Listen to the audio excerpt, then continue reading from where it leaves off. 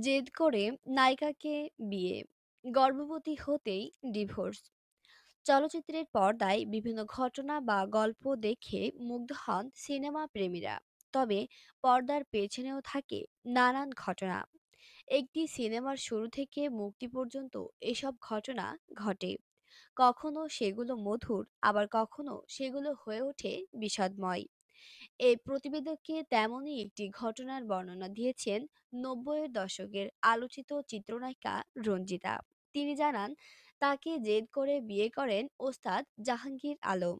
এরপর গর্ভে সন্তান এলে তাকে ডিভোর্স দেওয়া হয়। খুবই বেদনাবিধুর এবং একই সঙ্গে চাঞ্চল্যকর এমন তথ্য যে কেউ চমকে উঠবেন।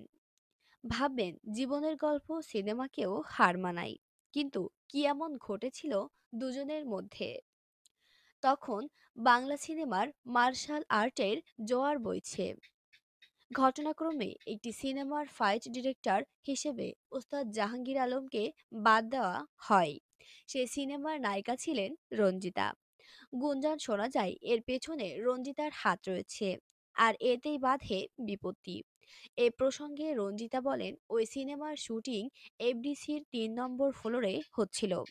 আমি মেকআপ রুমে ছিলাম।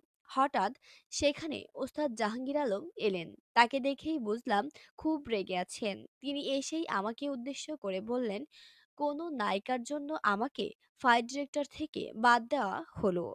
মেকআপ রুমে সেদিন নায়ক রুবেলও ছিলেন। রুবেল তখন বললেন, ওস্তাদ প্লিজ মেকআপটা শেষ করতে দেন। শুটিং রানিং, কিন্তু তাতেও তিনি নরম হচ্ছিলেন না। তখন আমি বলি, হু আর ইউ? আর এতেই তিনি চরম ক্ষিপ্ত হলেন। আমাকে গালি দিয়ে বলেন, এই মেয়ে আমার সঙ্গে ইংলিশ বলে? যাই হোক, সেদিন যাওয়ার আগে তিনি বলে যান, রুবেল আমি এই মেয়েকে একদিন বিয়ে করব। এটাই ছিল ওস্তাদ জাহাঙ্গীর আলমের জেদ। আর সেই জেদ তিনি পূরণ করেন রঞ্জিতাকে বিয়ে করে। রঞ্জিতার ভাষায়, এরপর আমি যখন প্রেগনেন্ট হলাম। তার চার মাস পর আমার বাবা মাকে তিনি সাফ বলে দেন, আমার জেদ ছিল বিয়ে করা, করেছি। এখন আপনাদের মেয়েকে নিয়ে যেতে পারেন। এরপরই আমার ডিভোর্স হয়। মরণ লড়াই সিনেমার মধ্য দিয়ে ওস্তাদ জাহাঙ্গীর আলমের সঙ্গে রঞ্জিতার সম্পর্ক গড়ে ওঠে।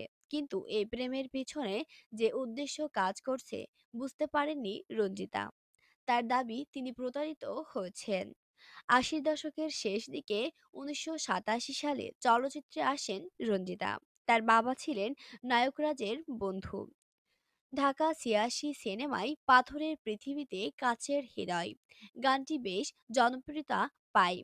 রাজ্জাক পরিচালিত এ সিনেমায় অভিনয় করে রঞ্জিতা আলোচনায় আসেন। বাপ্পারাজের বিপরীতে অভিনয় করেন। এরপর উনত্রিশটি সিনেমায় অভিনয় করেন তিনি। অভিনয়ের পাশাপাশি চলচ্চিত্র প্রযোজনাও করেছেন। রঞ্জিতার চলচ্চিত্রের ক্যারিয়ার রঙিন হলেও এখন তিনি ভালো নেই।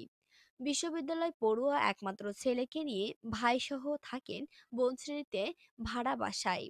২০০৫ সালে সর্বশেষ তাকে পর্দায় দেখা গেছে।